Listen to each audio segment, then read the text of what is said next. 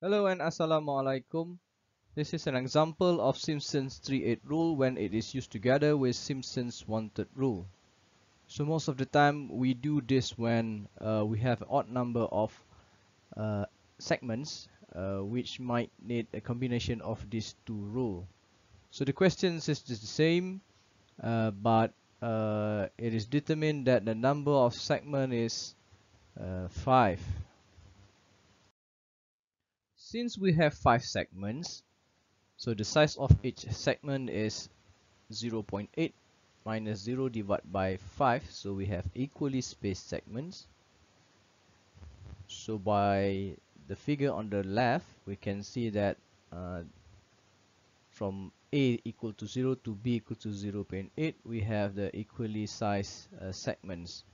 So the size of each segment is 0.16 uh, it means that we have uh, six points uh, at x equal to node until x1, x2, x3, x4 and x5 so we calculate all the value of the function at each point of course by substituting the value of x into the uh, original function given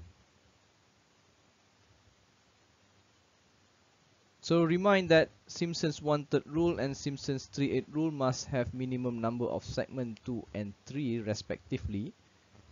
So what we do is the first the first two segment will be approximated using the Simpson's one-third rule and the rest of the segments which is three segments will be approximated using Simpson's 3-8 rule. Let's start by solving the first two segments. So since we are solving the first two segments using the Simpson's one-third rule, so let's recall the formula and the size of the interval h. So we can calculate uh, the size of the h.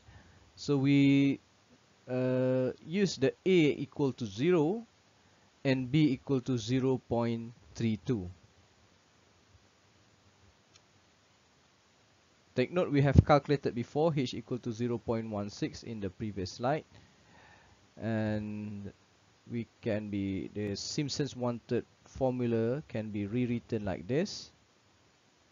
We substitute the value and we will get 0.380324 so this value is the integral only for the first two segment. Okay? And it has been approximated using the Simpson's one-third rule, single application.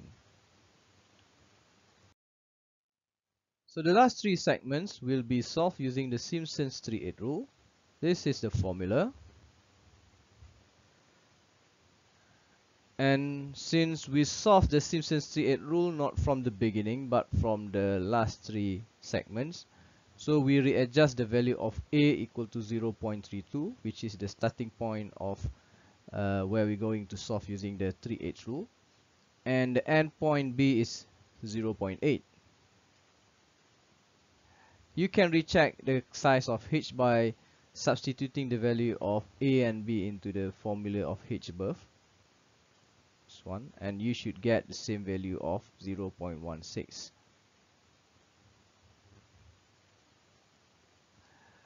and then you can rewrite the formula of 3-8 rule uh, with the right uh, fx2, fx3 and so forth.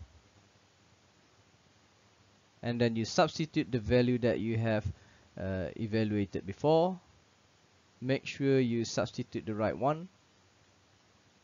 And you get the answer of the integral for the last three segments which is 1.264754 this one is obtained by solving it using the Simpson's 3-8 rule.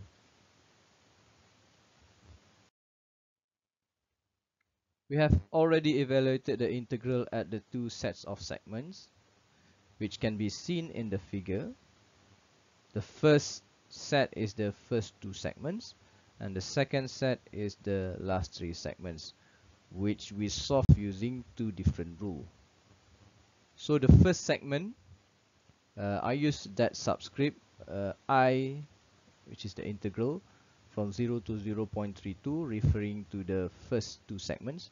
So the value of the integral on that two segments is 0.380324 and the second segments okay 1.264754 so the total integral is simply the addition of these two integrals which we will have 1.645078 so this is the approximated integral for this particular problem using the combination of Simpson's 3-8 rule and Simpson's one-third rule.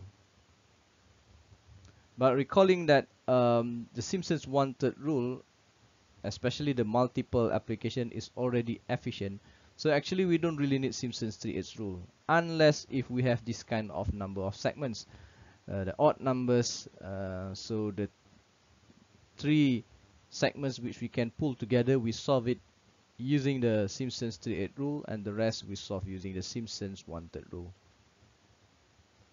The true error is 0.005454 which concluded a very small percentage true error 0.28%. That's all. Thank you very much.